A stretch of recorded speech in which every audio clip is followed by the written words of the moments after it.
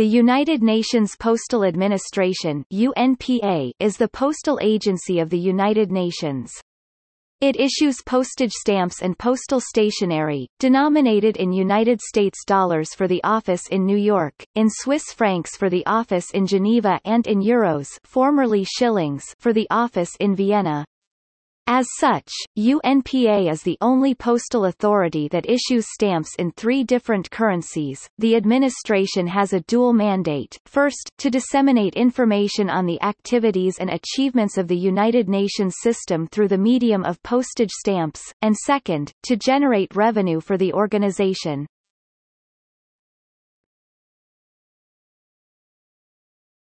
Topic: Usage and limitation.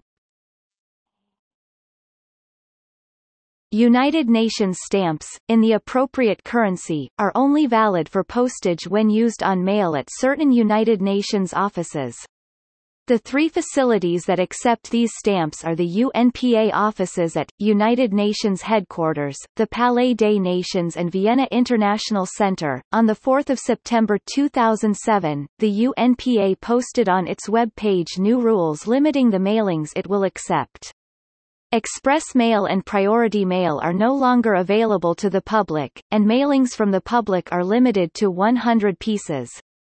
The UNPA stated that the reason for this is that it was not established to provide all postal services, and that its primary function was to issue stamps for philatelic purposes.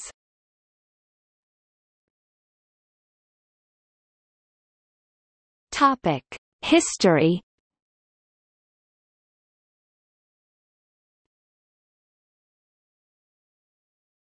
Topic. Beginnings The idea for the United Nations to issue stamps was first proposed in 1947 by the delegation of Argentina. The head of the delegation, José Arce, who was also president of the United Nations General Assembly, was himself a philatelist and wanted the United Nations to start issue stamps. Arce thought that the stamps would serve three primary purposes for United Nations. The ability to issue postage stamps, a privilege formerly reserved solely for sovereign states, would lend the United Nations authority. The sale of theses stamps would serve as an excellent source of revenue for the United Nations.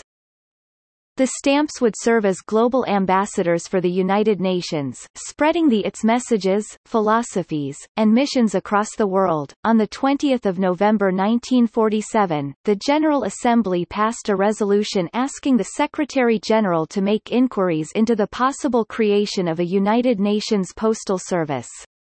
This was followed by additional resolutions in 1948 and 1949 asking the Secretary-General to continue arrangements for the establishment of a postal service. Finally, on 16 November 1950, the General Assembly formally created the Postal Administration and asked the Secretary-General to appoint a committee to design the first United Nations stamps. An agreement was signed on 28 March 1951 between the United Nations and the United States States Post Office Department which stipulated that the United Nations could start issuing postage stamps with two main provisions.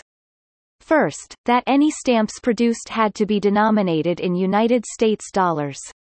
Second, that these stamps could only be used at United Nations headquarters. The Postal Service was formally inaugurated on United Nations Day in 1951, with its first set of stamps also going on sale that day.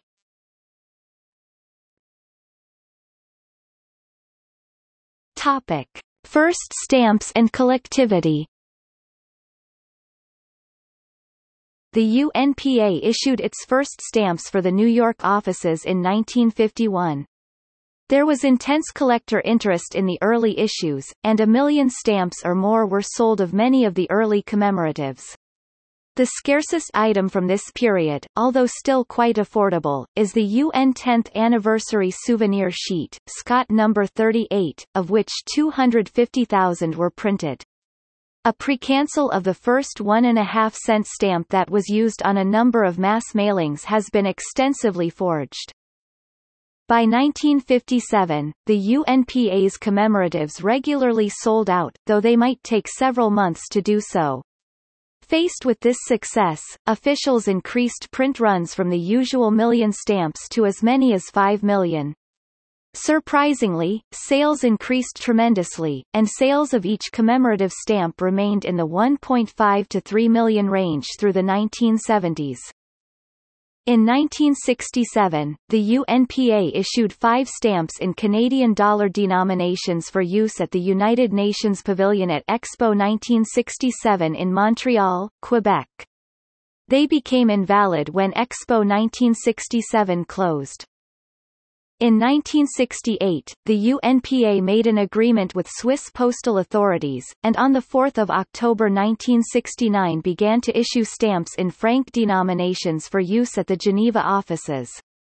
A 1979 agreement with Austria led to similar stamps for Vienna. There was a resurgence of interest in UN stamps in the 1970s, which may have peaked with the almost immediate sellout of the panes of 20 issued for the UNPA's 25th anniversary. Three of the four denominations sold out on the date of issue, the 8th of October 1976, the fourth sold out within two and a half months. A similar issue, in 1979, for the International Year of the Child sold out on the day of issue. The story made the front page of the New York Times. In 1980, the first of an annual series depicting members' national flags sold nearly 3.5 million of each individual stamp.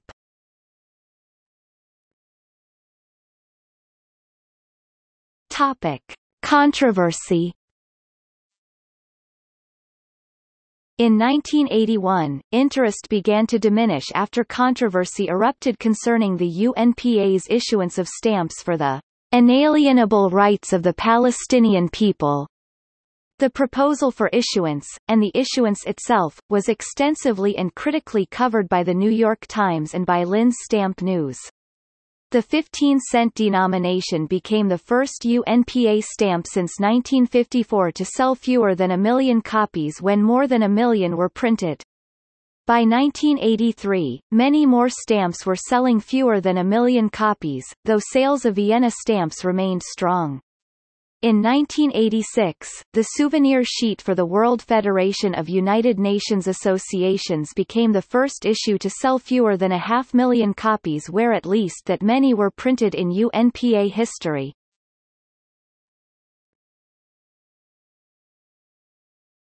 Topic. Reviving collector interest In an effort to increase sales, the UNPA used a combination of smaller printings of stamp issuances, aggressive marketing, and having famous artists create stamp designs. Still, stamp sales have never recovered to previous levels and today print runs are on the order of 400,000 stamps. Due to these lower printing quantities, the stamps from the late 1990s and 2000s are harder to find on the discount postage market. Although it is rare, some issues have sold out. The most notable of regularly issued UN stamps is the 2005 General Assembly 60th Anniversary Souvenir Sheet, of the $1 denomination, which is currently being sold by stamp dealers for more than 10 times its original face value.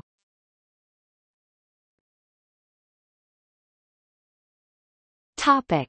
Personalized sheets In 2003, the UN Postal Administration began issuing personalized sheets for New York. These sheets have 10 or 20 stamps and a large decorative border, with a tab to the right of each stamp. Visitors to the UN building in New York can go to a kiosk where a personal picture can be printed onto a sheet with blank tabs. Most personalized Sheets are produced for stamp shows and specific UN events with related designs already printed on the tabs.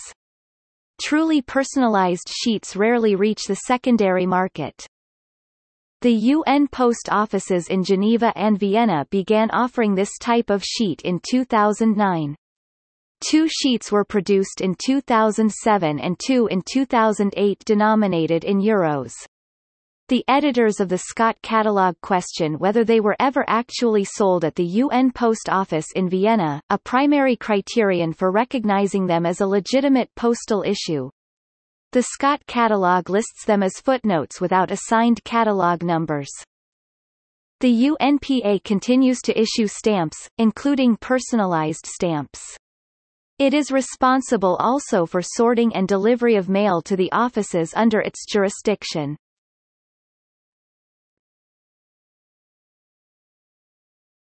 Topic: Archive sale controversy A recent controversy concerns the 2003 purchase by one organization of the UNPA's entire postal archive, including original artwork and artists' proofs. Apparently this was to raise money for the UNPA, and it may have netted the organization about $2.5 million. However, there have been serious allegations that improper procedures approving the sale were followed. Also, resale of items at several times their initial values have apparently occurred, thus raising more questions about the entire matter. As of 2006 the issue remains under internal UN investigation.